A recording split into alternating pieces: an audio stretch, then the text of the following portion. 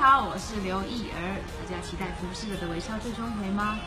我知道你们也很期待，所以礼拜天晚上九点半一定要来一到直播聊天室跟我们聊聊天哦。还有一个好消息就是礼拜天晚上十一点半，听到没？十一点半就会上架在 Vivo，所以你想什么时候看服饰的微笑，就什么时候看。Love you。